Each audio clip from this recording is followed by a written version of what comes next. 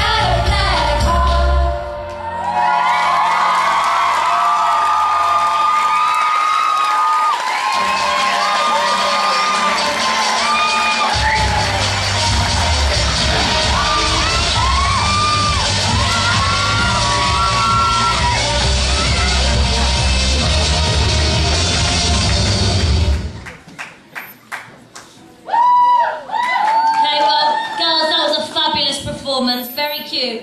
Okay, let's go over to our own Queen of Camden and fellow Londoner, Tulisa.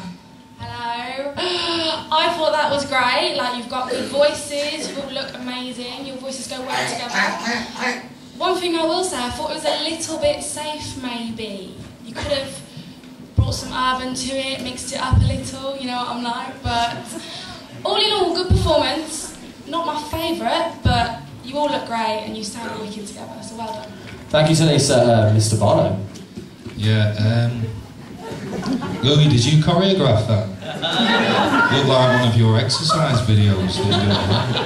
Um, girls, lots of uh, black hearts on the stage. No Queen of Hearts here tonight, though. Um, but there was one ace in the pack, and that was yourself, Roly. Ditch the rest of them. Go on your own. Thank you, Mr. Bono. Nicole. Ignore him.